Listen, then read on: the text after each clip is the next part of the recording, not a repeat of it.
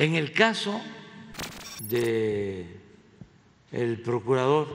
Murillo Cara, su detención independientemente de declaraciones de los implicados, él mismo se inculpa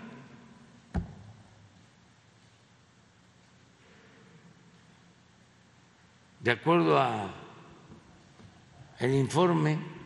y a la investigación de la Fiscalía,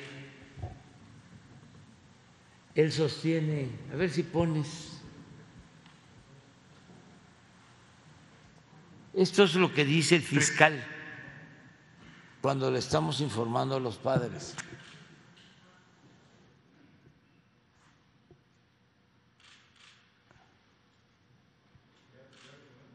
¿Ya?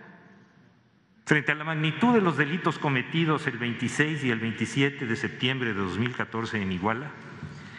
el Ejecutivo Federal en ese momento intentó soslayar la responsabilidad del Estado mexicano ante un crimen desmesurado y brutal y trató de adjudicarle la culpabilidad total de los hechos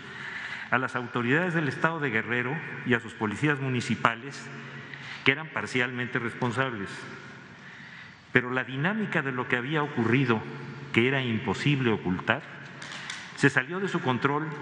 y fue en ese momento cuando el Procurador General de la República, Jesús M.,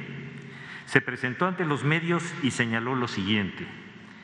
Estamos preparando un equipo de investigación, se trasladará el jefe de la Agencia de Seguridad y su servidor